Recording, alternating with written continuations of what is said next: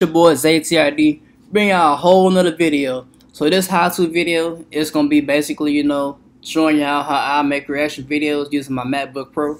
So obviously the first thing you want to do is make sure your software is up to date, you know what I'm saying? Make sure that you're running the best software that you can.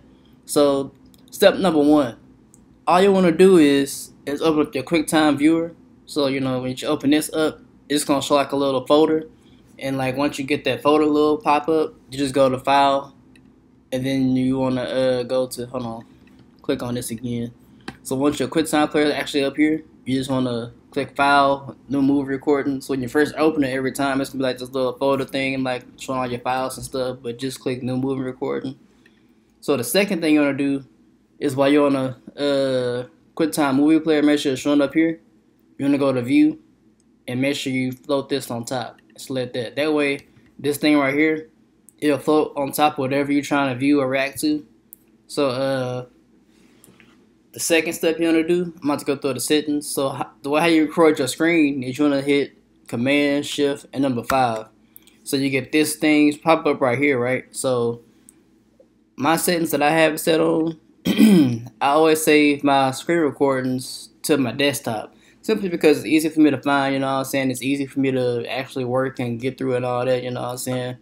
And then have a timer for five seconds, and then for the options, I always show the floating thumbnail and remember the last uh, selection. And there's another thing in here. Make sure that your built-in mic is actually being used. It's an option in here, like when you first set it up, that uh, it should say something about microphone settings, and make sure you click that mic to be on because if you don't, you're gonna be like me, thinking you're doing something, but you're not. You just making reaction videos and no sound, and you cannot get sound on there if you're not using your built-in computer microphone. You're not getting no sound from it, so that's one thing to look out for. Make sure that the mic is always on, because if you're not, you ain't making no reaction videos. You're gonna just be sitting here doing voiceovers. anyway, man. So let me get to this good old settings for YouTube. You know that I use so far. I'm still learning. So I just use I use Google Chrome for this, and uh, I used to this my old style. I used to go like this a lot, regular the regular view. So if you go on YouTube and click on theater mode, you get more of like a full screen. So I'm starting doing that in my reaction videos. So if I was to react to this video, you know what I'm saying, I'm just go ahead and start playing it. You know what I'm saying? It's kind of low, but you know, say if I was to react to that, you know, you just you know talk, you know, you know what I'm saying, do what you want to do and then make a little comments here and there. But that's how you make a reaction video. That's how I do it. You know, it's real simple.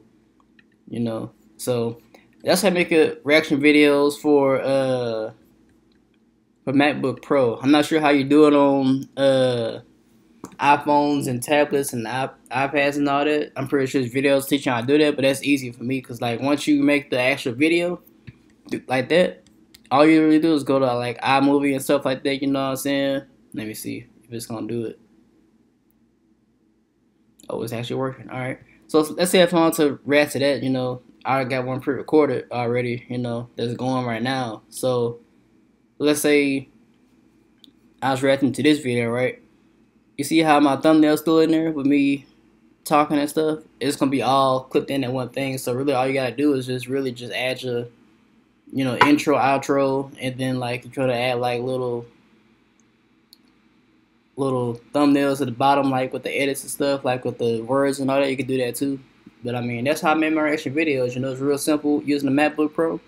It's not too much editing. The most editing I do is just really just doing take one through five. Kind of messing up a lot, you know what I'm saying? But anyway, man, that's how you really do it. So step one, make sure that you open your QuickTime player.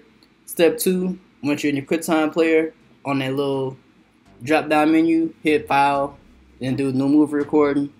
Then you go to the view tab, make sure you float it on top so it look like this, how I'm doing it now.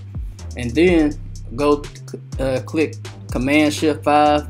It don't have to be simultaneous. As long as, you know, you hit, hit all those Command Shift number 5, then it'll work. Just make sure you have your microphone settings on and then you just want to record your entire screen and then click record and then you're good to go from there. But yeah, man, that's a wrap up for this video. That's how I do my reaction videos. I'll be doing a whole lot more for y'all, you know what I'm saying? My channel pretty diverse. Make sure y'all like, comment, subscribe. I do car videos. I do live game streams, live streams, you know, reaction videos. And pretty soon I'm gonna do something else I ain't gonna say it, but y'all gonna see the title when I once I start doing it. You know, that's that's that's coming real soon to the channel. So I'm a real diverse channel. You know what I'm saying? So make sure y'all like, comment, subscribe. You know what I'm saying? Share the video. And appreciate y'all for checking in. Peace.